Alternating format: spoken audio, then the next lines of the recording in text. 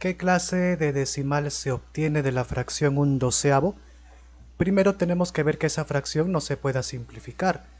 Y no, ¿verdad? Por ejemplo, 12 es un número que tiene mitad, tercia, etcétera, pero arriba no. Así que no se simplifica. Ahora, este que está debajo, ¿entre cuál de estos números se puede dividir? Entre 2, entre 3 y entre ninguno más.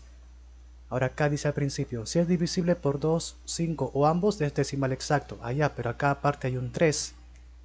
La segunda dice ni 2 ni 5. Allá, pero si hay un 2, entonces tiene que ser la tercera. Dice divisible por 2 o 5, acá está el 2, y otros como el 3. En ese caso va a ser decimal periódico mixto. Allá, entonces ese es nuestro caso, ¿verdad?